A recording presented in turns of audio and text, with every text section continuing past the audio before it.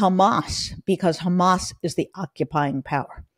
Secondly, Israel is not committing war crimes. First of all, it fully complied with international law in signaling a warning. Secondly, it has allowed humanitarian aid into Gaza. Third, it is not targeting civilians.